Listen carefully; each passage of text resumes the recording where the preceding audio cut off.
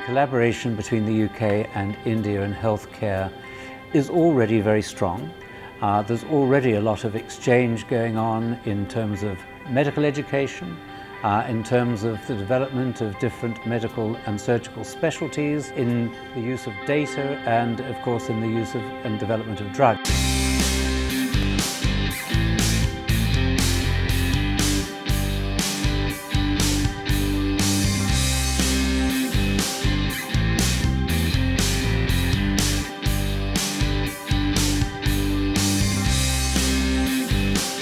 The companies that have come here on the mission are looking to think about how they can identify needs and adapt their solutions to potentially provide solutions working here with partners in India.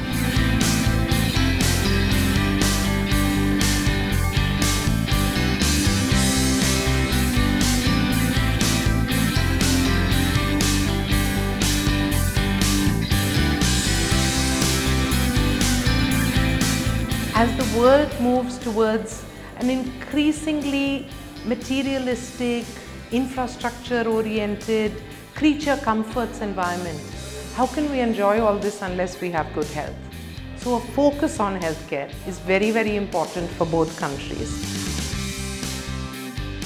What's become very clear to us is affordability, access and standards and that's why we feel there are so many synergies and opportunities for us to share our experience with India. The real advantage would be that together we could create something which is going to be better than what exists in both places and that's a model which we could actually take elsewhere as well, Indeed. back to the UK.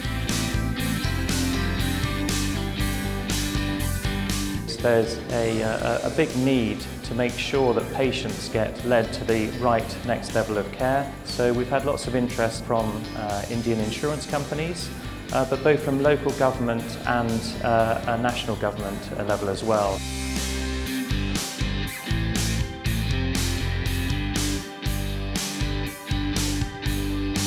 As BMJ, our mission is to create a healthier world and this we do via publishing our journals. So BMJ still remains the flagship journal, one of the most read medical journals around the world and very popular here in India as well. The whole smart cities concept of increasing the whole infrastructure and bringing all the connected systems together, a TPP system of having a unified record available across multiple different healthcare settings makes it a fantastic opportunity.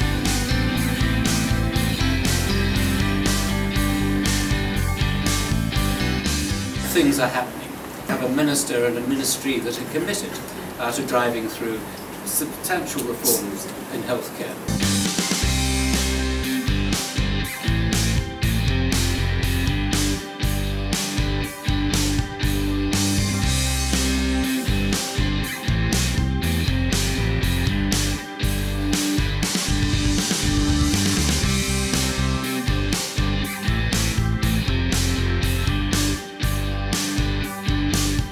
Healthcare is great because the NHS is fantastic. It's the most wonderful healthcare system in the world, a guarantee of free healthcare to every citizen, no matter what their wealth is, at the point of clinical need.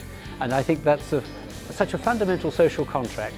What we've got to do now is continue to improve the quality of the healthcare, continuing to improve patients' access to healthcare, and the only way we can do that is by revolutionising the way we provide it and bring down costs dramatically so that it remains affordable.